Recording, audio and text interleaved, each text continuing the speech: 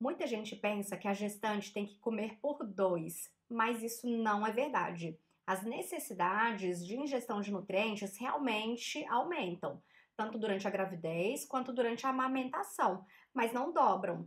Por exemplo, a mulher antes da gestação, ela precisa em média de 60 gramas de proteína por dia e durante a gravidez, 71 gramas. A mulher antes de engravidar precisa entre 11 e 12 gramas de ômega 6 e 13 na gestação e na lactação.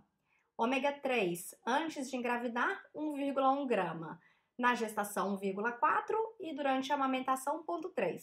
Olha os carboidratos. A mulher, em média, antes da gestação, deve estar consumindo 130 gramas de carboidratos, na gestação 175 e na lactação 210. E veja que mesmo na lactação, onde o gasto de energia para a produção de leite materno é muito alta, isso não dobra, não passa de 130 para 260, passa para 210 gramas.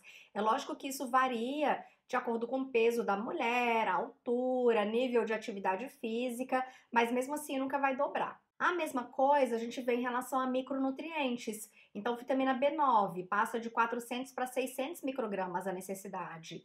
B12 de 2,4 para 2,8 na lactação. Vitamina A de 700 para 1.300. Vitamina D vai depender muito do valor plasmático, mas fica em torno de 600 unidades até 2.000 unidades por dia em média. E isso em todas as fases da vida da mulher.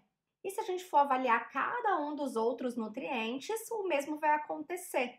A gente não tem, em geral, nutrientes cujas necessidades dobram.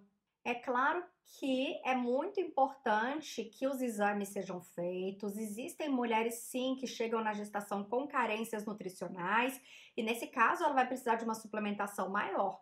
Assim como existem mulheres que estão amamentando e também têm carências nutricionais. Então, isso precisa ser corrigido mas isso não significa que altas dosagens sejam necessárias e nem seguras para todas as mulheres. Por isso é muito importante o acompanhamento da mulher que quer engravidar ou que já está grávida ou que está amamentando com um bom nutricionista.